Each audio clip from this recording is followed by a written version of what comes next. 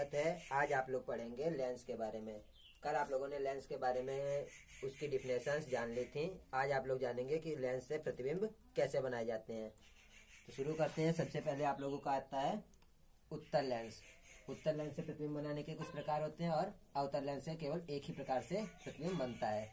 तो सबसे पहले उत्तर लेंस के बारे में जानते हैं। उत्तर लेंस में जब प्रतिबिंब बनाया जाता है तो सबसे पहले आपको उत्तर लेंस पता होना चाहिए कैसे बनता है। उत्तर लेंस से प्रतिबिंब बनाने आपको। सबसे पहले उत्तर लेंस आपको पता होना चाहिए कैसे बनता है। ये आपका उत्तर लेंस इस तरह से बनता है। नंबर वन पे आप लोगों का आता है, जब वस्तु अनंत परिस्थित होती है तो प्रतिबिंब कैसे बनाया जाता है। उसके लिए सबसे पहले एक मुख्य खींचना होता है। मुख्य ये रहा आपका ये आपकी रही वस्तु। ये है आपकी स्थित। अनंत अनंत पर स्थित है जिसका नाम है ओ और ओ डैश यहाँ पे आप लोगों का फोकस एफ़ है और प्रकाशिक केंद्र इसको बीच से कट करके बनाया जाता है। यहाँ पे आप लोगों का प्रकाशिक केंद्र सी है। प्रकाशिक जब यहाँ पर से फोकस से वस्तु प्रकाश की किरण जाती है तो फोकस से जाने वाली किरण परावर्तन के बाद इसमें समांतर हो जाती है और प्रकाशिक केंद्र से जाने वाली किरण जो होती है वो बिल्कुल सीधे निकल जाती है। जब सीधे निकलती है, वो दोनों एक दूसरे को जहाँ पे कट कर देती हैं, वहीं पे आप लोगों का प्रतिबिंब बनता है, उल्टा आई और आई डैश आई और आई डैश प्रतिबिंब जहाँ पे बनता है, वो बनता है बिल्कुल फोकस पे, यानी अनंत पे जब वस्तु रखी होती है, उसका प्रतिबिंब आपका फोकस पे तैयार होता है। उसके बाद में दूसरी जब आती है आपका, दूसरी स्थिति में आप लोगों का आता है जब वस्तु टू एफ़ दूरी, यानी कि फोकस से दुगनी दूरी के, अनंत और फोकस दूरी की दुगनी दूरी के बीच में होती है। सबसे पहले उत्तर लेंस बन गया। मुख्य प्रकाशिक केंद्र एफ़ सी और अनंत और उसके बीच में वस्तु। ओ और ओ आपकी बैठी है। सबसे पहले, यहाँ पे आप लोगों का फोकस होता है दूसरा, यहाँ पे आप लोगों का दूसरा होता है वक्रता केंद्र। मुख्य अच के जब समांतर इसमें किरणें चलती हैं, वो परावर्तन के बाद फोकस से होकर निकल जाती हैं। और जो प्रकाशिक केंद्र से लाइन जाती है, वो सीधे निकल जाती है। यहाँ पर जहाँ पर भी आपकी कट होती हैं, वहीं पे उल्टा प्रतिबिंब बनता है, आई और आई डैश। यानी कि हमेशा आप लोगों को दो जगह से लाइनें निकालनी है, एक फोकस से जाती है और दूसरी प्रकाशिक केंद्र से। प्रकाशिक केंद्र वाली लाइन हमेशा सीधे निकल जाती है। तीसरी दूरी जब आती है, तीसरी उसमें, तब आप लोगों का आता है जब वस्तु आप लोगों की टू एफ़ दूरी पर होती है। टू एफ़ किसको कहते हैं? ये पता है आप लोगों को? टू एफ़ जो दूरी होती है, उसको सी कहते हैं। सी जो है आप लोगों का मिरर वाले चैप्टर में हमने पढ़ाया था। सी आप लोगों का फोकस दूरी का दो गुना होता है। वस्तु जब टू एफ़ दूरी पर होती है तो सबसे पहले आप लोगों को उत्तल दर्पण बनाना है। उत्तल दर्पण जब बन जाता है, उसमें प्रकाशिक केंद्र निकालना है। प्रकाशिक केंद्र मुख्य अक्ष और उसका कटान बिंदु होता है। यहाँ पर आप लोगों का फोकस होता है। यहाँ पे टू एफ़ लिख लेते हैं सीधे। सी मत लिखिए। यहाँ पे आप लोगों का एफ़ होता है, यहाँ पे टू एफ़ होता है। दोनों तरफ़ ये आपके होते हैं। वस्तु तो आप लोगों की कहाँ पे स्थित है? टू एफ़ पर। यानी कि यहाँ पर स्थित हुई है। यहाँ पर वस्तु है ओ और, ओ डैश। इसमें क्या होगा? मुख्य अक्ष के समांतर चलने वाली किरणें फोकस से होकर जाएँगी। मुख्य अक्ष ये है, इसके समांतर किरणें चलेंगी तो वो कहाँ से जाएँगी? फोकस से। उसके बाद में प्रकाशिक केंद्र से जाने वाली किरणें बिल्कुल सीधी निकल जाएँगी। जो सीधी निकलेंगी तो इनको यहाँ पे कट करेंगी। एक दूसरे को ये फोकस पर ही मिलेंगी। उल्टा प्रतिबिंब तैयार होगा आपका आई और आई डैश हमेशा आप लोग देख रहे होंगे, हम वक्ता इसको जो है प्रकाशिक केंद्र से जब किरण ले जाते हैं, वो सीधे निकल जाते हैं, वो क्योंकि परावर्तित नहीं होती है। अगला आप लोगों का जो फिगर आता है, वो आता है जब वस्तु आप लोगों की फोकस और फोकस जो वक्ता केंद्र होता है, उसके बीच में होती है। तो सबसे पहले उत्तर लेंस प्रकाशिक केंद्र। Focus, double focus. वस्तु आप लोगों की कहा है? एफ़ और टू एफ़ के बीच में। मुख्य के समांतर चलने वाली किरणें फोकस से जाएँगी। फोकस से चली गई। प्रकाशिक केंद्र से जाने वाली किरणें बिल्कुल। सीधे निकलेंगी आपकी। सीधे निकल गई यहाँ पर से कट करेगी आपको। यहाँ पर आपका प्रतिबिंब बनेगा आई और आई डस यानी टू एफ़ के बाहर बनेगा। ये आप लोगों का प्रतिबिंब यहाँ पे बनता है। अगला आता है आप लोगों का, जब वस्तु फोकस पर स्थित होती है।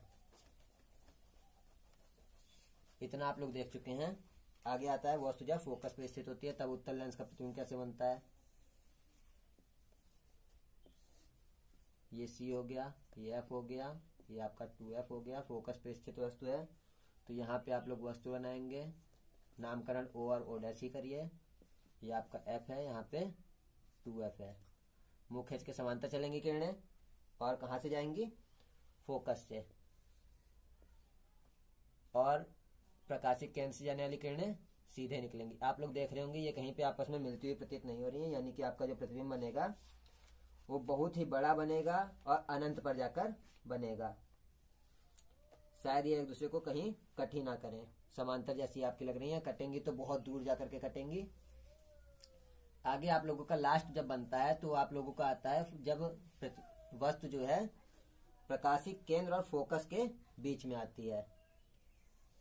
सारे आप लोग प्रतिबिंब देख चुके हैं, बहुत ही इजी तरीके से हमने बताए हैं। यानी एक किरण आपकी जब समांतर जाएगी तो वो फोकस से होकर जाती है और दूसरी वाली टू एफ़ से, जब वो प्रकाशिक केंद्र से जाती है, वो सीधे निकल जाती है। वस्तु आपकी कहाँ पे स्थित होगी? फोकस और प्रकाशिक केंद्र के बीच में। नामकरण वही ओ और ओ डैश समांतर जब जानी है तो वो फोकस से होकर निकलेंगी। और प्रकाशिक केंद्र से जब जाएँगी तो वो सीधे निकल जाएँगी। बस ये तरीका था। ये आप लोगों की कहीं पर नहीं मिल रही है, यानी कि इसका अनंत प्रतिबिंब बनेगा। ये थे आपके उत्तर दर्पण से उत्तर लेंस से संबंधित प्रतिबिंब कैसे बनाए जाते हैं? और इसके बाद में आप लोगों का आता है कि अवतल दर्पण से प्रतिबिंब कैसे बनते हैं? उत्तर दर्पण से आप लोगों ने देख लिया कि प्रतिबिंब जो है, छह प्रकार से बनते हैं। नंबर वन आपका कैसे बनता है? जब वस्तु जब वस्तु आपकी अनंत पर होती है, अनंत पर होती है। उसके बाद में नंबर टू पे कब बनता है? नंबर टू वाला बनता है जब वस्तु जब वस्तु अनंत व टू एफ़ के बीच में होती है।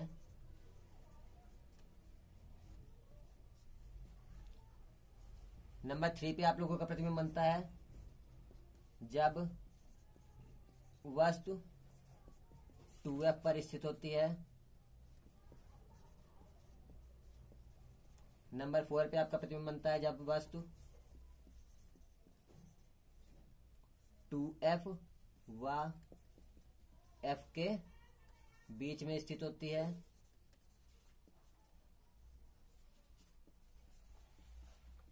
अगला प्रतिबिंब आपका आता है। जब वस्तु फोकस पर स्थित होती है। और लास्ट वाला जो प्रतिबिंब आपका बनता है नंबर छह वाला, वो बनता है जब वस्तु फोकस व प्रकाशिक केंद्र के बीच में स्थित होती है। ये आपके थे उत्तर दर्पण से उत्तर लेंस से बीच में होती है। ये थे उत्तल लेंस से संबंधित। ये जिसमें आप लोगों को याद रहे तो इसके आप लोग स्क्रीनशॉट ले सकते हैं। दो मिनट का टाइम आप लोगों को दे रहे हैं।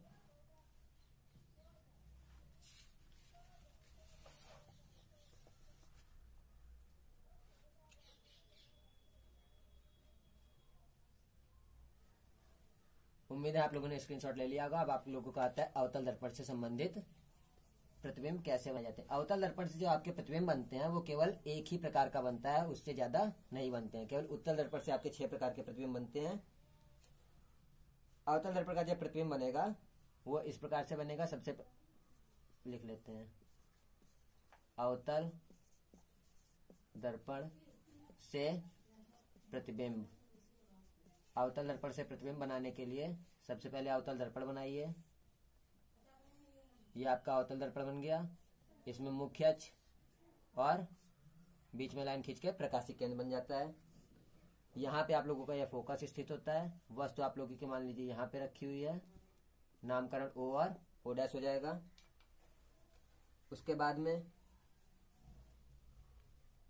मुख्य अक्ष के समांतर चलने वाली किरणें फोकस से इसमें आती हुई प्रतीत हो रही हैं और निकलती आपकी ऐसे हैं किरण वो। और प्रकाशिक केंद्र से जो किरण जाती है वो बिल्कुल सी, यहाँ पर से जाएगी, वो सीधी निकल जाएगी।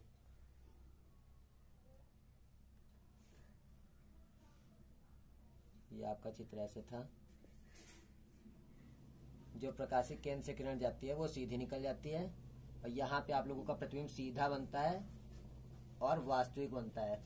उत्तल दर्पण से जो भी प्रतिबिंब बनते हैं, वो आपके हमेशा आभासी बनते हैं और अवतल दर्पण से जो भी प्रतिबिंब बनते हैं, वो वास्तविक बनते हैं।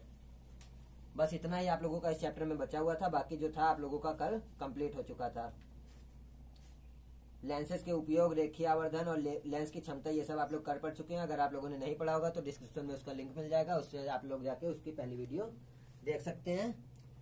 और इस चैनल को सब्सक्राइब करें बेल नोटिफिकेशन को दबाएँ, ताकि आप लोगों को नोटिफिकेशन मिल सके सबसे पहले। वीडियो को जहाँ से हो सके उससे ज़्यादा शेयर करें और हम अपने इस यूट्यूब फैमिली को ज़्यादा से ज़्यादा बढ़ाएँ। Okay friends thank you for watching